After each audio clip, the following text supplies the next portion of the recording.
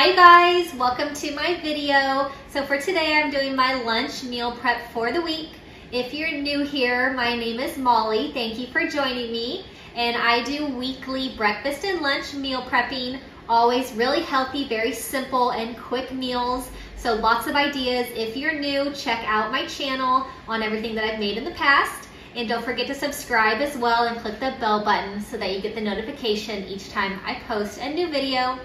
So for this video, it's gonna be my lunch for this week. I'm gonna make spaghetti squash. So this is a really great alternative for a pasta. It's really delicious, low carb. I'm gonna have tur ground turkey, have no sugar added, spaghetti sauce, uh, spinach, and Parmesan cheese. So I'm gonna cook all this up for my lunch this week. Um, right now I have the oven preheating to 400 degrees, so I will show you how I cook up the spaghetti squash. I'm gonna cut the squash lengthwise. So I'm gonna stick my knife in and cut it through. These are pretty hard, so be careful. So once it is cut through, I'll open it up. And it has seeds inside. So I use a melon baller because it's um, pretty sharp and it's really easy to just scrape um, the seeds out and I'll just discard them before we get ready to cook the spaghetti squash.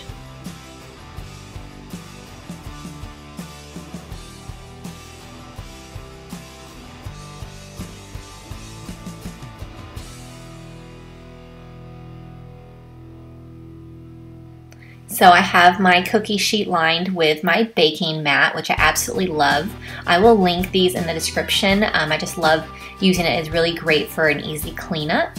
So I'm gonna put some olive oil on top of the spaghetti squash and brush it around so that it is covering the whole spaghetti squash.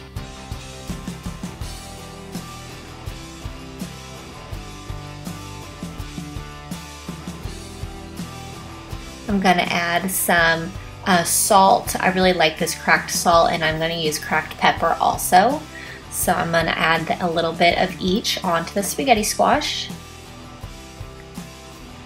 And then I am going to turn them over on the baking mat and I'm going to bake this in the oven at 400 for about 30 to 35 minutes and it'll be really nice and soft. So while that's cooking, I'm going to make up my ground turkey. So I have it on the stove. I'm going to break it into lots of small pieces and cook the ground turkey all the way through.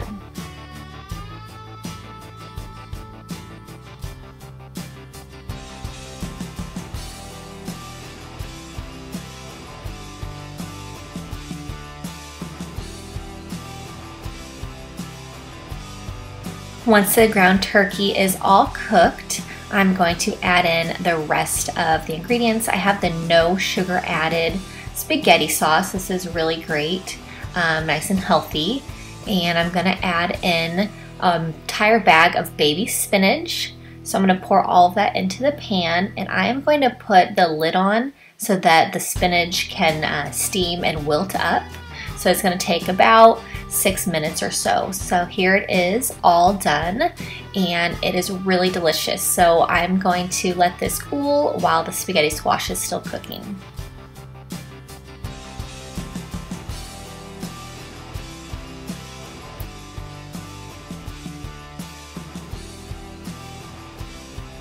I'm gonna add in some Parmesan cheese. I love the extra flavor that Parmesan gives. So the spaghetti squash is out. It has cooled because it is really hot when it comes out of the oven, so it's been cooling. So I am going to kind of fluff them and let the little pieces of the spaghetti squash just come apart. Um, there's a really great, they're like noodle shaped. So it's a really great alternative for a spaghetti or a pasta if you are on a low carb diet. So I'm just gonna kind of fluff these around and um, then it'll be ready to add on the ground turkey mixture.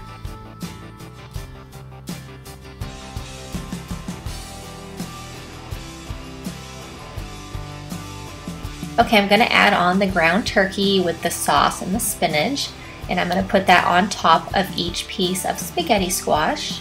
So once I add everything on, I'm gonna bake in the oven again for about 10 minutes, just to let all these flavors mix in together and then our meal prep will be done for the week.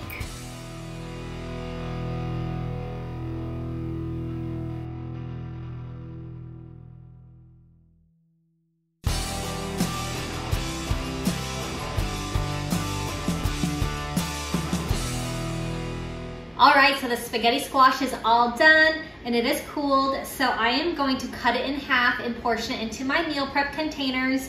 Um, I have these containers that I use for all my meal prepping. They're really great. Got them on Amazon. I'll link these in the description if you need some new meal prep containers. These are glass, great size.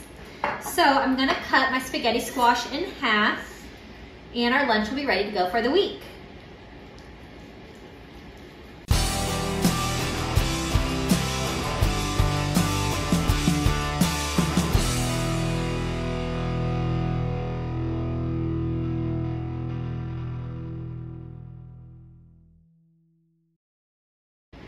All right, so this spaghetti squash is really healthy, really easy to make, a really good alternative for pasta if you are on the keto diet or low carb. So check this recipe out in the description if you wanna make it. Thanks for watching. Don't forget to subscribe to my channel if you haven't already, and I will see you next time. I hope that you have a great weekend. Bye-bye.